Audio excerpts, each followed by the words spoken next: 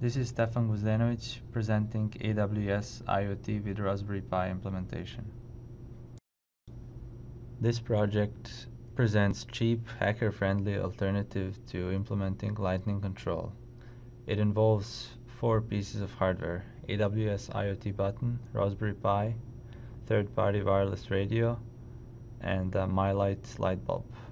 It involves three communication technologies, Wi-Fi and public internet, serial peripheral interface, and wireless protocol.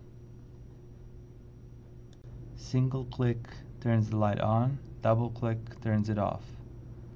These commands are sent over MQTT protocol to the AWS IoT, which triggers a Lambda function, which controls the lights through HTTP web page hosted on Raspberry Pi.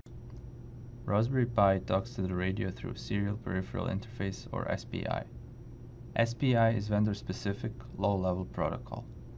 Its signals are, listed on this slide.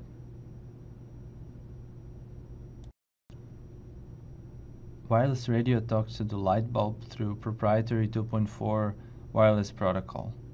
Example of a packet format is shown with the different fields colored uniquely. Interesting fields are control fields. Those are color slider field, brightness slider field, and button status field.